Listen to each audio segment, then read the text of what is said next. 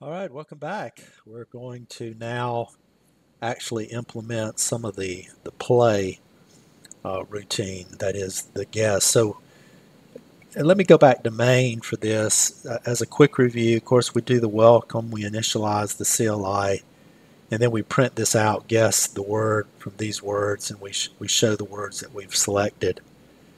And uh, we print those out the, the final thing we're going to do is actually play now based on um, what we've got. And so what I'm going to do is, um, I think in the original requirement I called it guess, that we had a routine called guess. And uh, I think I'm going to rename it, call it play. And in fact, as I look at this, I'm thinking it would probably be nice to even put this code inside of the play module to make it very modular. In other words, here's what I'm thinking. I'm thinking, why don't we have a welcome, initialize the CLI, and then after we initialize the CLI, why don't we um, uh, we can go ahead and get the list like we did here. I think I'm going to move both of these up to here. So after we initialize the list, we can get the list size and the word list. And then I'm going to say, why don't we play the game? And we'll pass in the word list, and we'll pass in the list size. All right, now we haven't implemented play yet, and it's telling us, but look how clean that will be we will simply say welcome, initialize, and, and call it like this. In fact, if you want to simplify it even more, I'll show you both ways we can do it. We'll comment this out. And so that this was one way we could do it, right? But I'm going to say, wouldn't it be cool if we just did this, if we said play, and when we said play, oops, didn't mean to do that. When we say, um, I think I'll just retype here. I'll say when we call play, suppose we called get the list as the first parameter, and as the second parameter, we called get the list size. Like that. And again, I'm gonna, I'll use our forward slash and slash star just so you'll remember how we did it here for but what's new look how clean this is main welcome command line interface init and then play the game so we've abstracted a lot of the details. We'll put inside this play, we'll create a new header file that will handle both the list and the size. And we'll probably begin by copying this code into there, but I'll leave it here for now. So again, I'm giving you, this is how code gets written, right? You modify it, you change it. And in a lot of ways, this is the, the key value of watching these videos. You see literally how code gets written as opposed in a textbook, it you tend to think you see the final version and you don't often get to see how it evolves as you're going through here. So speaking of going through here, this will be our third and final version of this. So I'm going to go to our welcome.c and change this version number to 3. That'll be the first thing I'll do. We know we're going to have a play function. So I'll come and add a new file, called it play play.h and we'll put our comment here play.h which we know is the implementation or pardon me the interface. I know this is the interface. If not defined underscore underscore play underscore I'll do it like this this time right? Two underscores. Then define. Copy and paste this so you don't have any typos and then a pound end if. And inside of here, we're just going to have not going to return anything. This will be called play. And what we're going to pass into it is a character pointer to a pointer, which will be the list. And then we'll have a, a integer, which will be the list size. That is our function prototype. Right, that is our function prototype. And then we'll play the game. Well, let's go ahead and add a implementation file, the play.c. With our play.c, the play.c, we'll go ahead and include, might as well because we know we need it, standard io.h. And of course, we're going to implement the, the play, how we play this guess what game. And again, to make sure I don't have any typos, I go to play.h, grab, in this case line 6, go back to my play.c, paste it, remove the semicolon at the end, and add the open and closing curly braces. Now remember, in our main.c, one of the things we did was say guess the word from this list. So I'm actually going to grab this code that we commented out. I'm now going to copy that into my buffer. All right, so that's in my buffer. And even before I go back to the other one, I see I'm getting this implicit, but we know how to solve that. So while I'm here, include play.h. Takes care of that. And now I'll go to my play.c and literally paste this code that we did have in the other, right, we had it in main, but now I'm going to say guess these words and then do the for loop for i. We have our list size, but instead of it being a word list, looks like, well, I'll call that word list here, word list. That way we can keep it the same remove your comment here. And you know what? Right now, although we're not really playing the game, we should at least be able to see period slash main dash dash list red, green, blue. And sure enough, we see guess what word, guess what word from these words.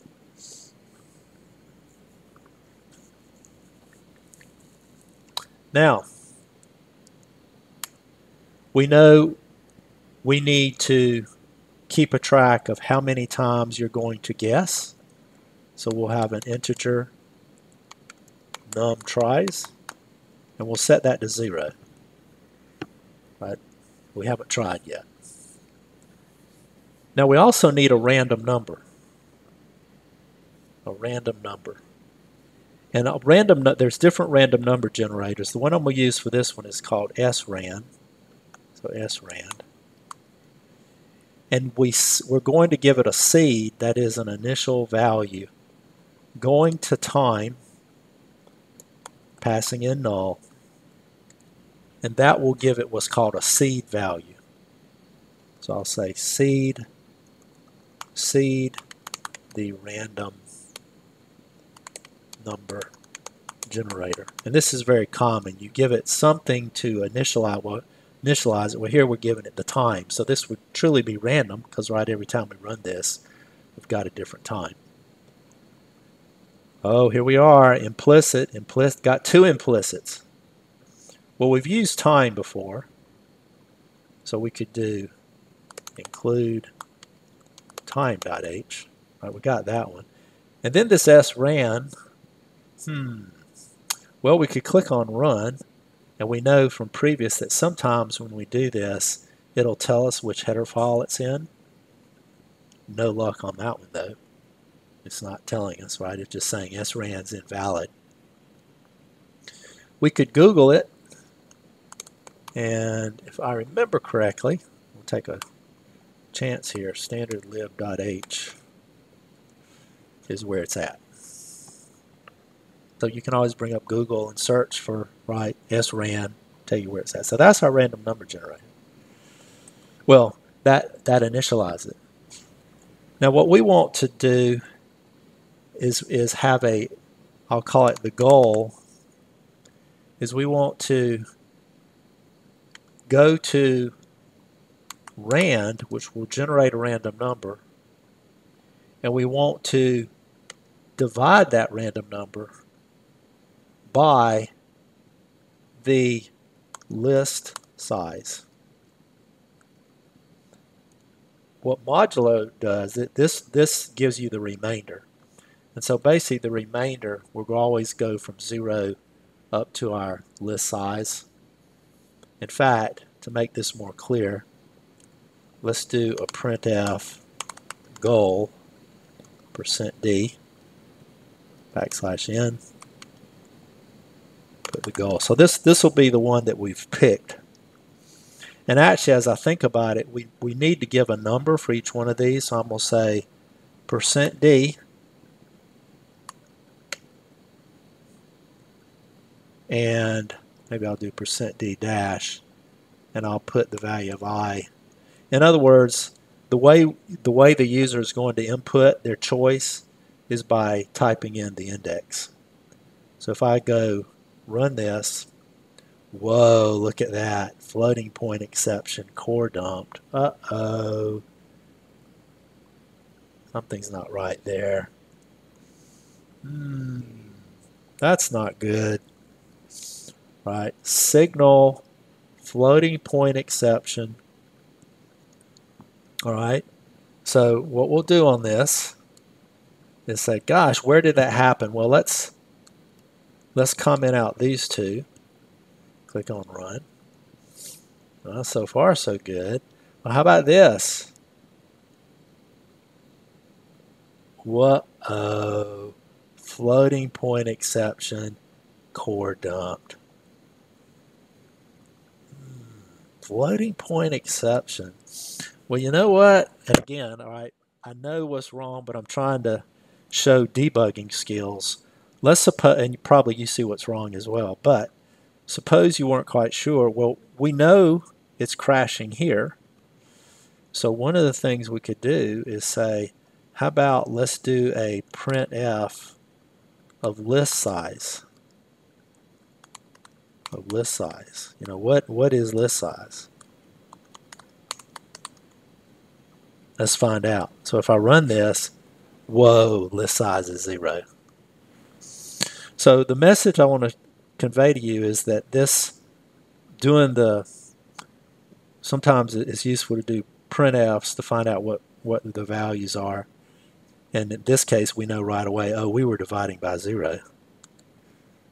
So let's um, let's do this. We'll say main dash dash list red green blue. And notice our list size is 3. Okay, well now, we notice we didn't crash that time. Let me do an up arrow and do it again. List size is 3. Oh, let, let me uh, rebuild.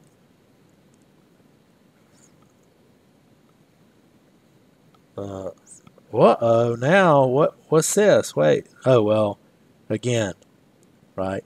So we need to handle this, but right now we'll, we'll ignore that. We'll say all we're interested in right now is doing it with dash dash list, red, green, blue. Notice we've got red, green, blue, and this time the goal was 1. Let's do it again. This time the goal was 0. Let's do it again. This time goal 0 again. One more time. This time the goal was 2. So indeed, we've got a random number generator that is doing that. So that'll be our goal. And so now it becomes pretty simple. We could say do, do what? Well, do while the, um, the goal does not equal our choice. And our choice, we'll say integer choice. We're going to have a choice. And what we'll do is say printf your choice and we will say scanf percent %d giving it a pointer to our choice. And of course, every time we do this, every time we come in this do loop, we want to say the num tries plus plus. We want to increment the number of tries. So it'll come through as long while the goal does not equal the choice, right? While we don't have it right. Once we get out of here, we'll say um, Well, let's see. I guess we'll give you, just for the sake of example, we'll give you uh, three tries. So if goal does not equal choice and um, num tries is less than 3. And notice this is a condition and this. As long as both of these are true, we'll continue to do this. Right, as long as both of those are true. But when we come out of this, if the num tries exact equals a 3, well, you ran out of tries, right? You ran out of tries. So we'll say um, and actually, we'll make it even simpler than that. When we come out of here, if the goal does not equal the choice, right? If we if if we came out of here and the goal does not equal the choice, then printf, sorry, you lost else printf you win.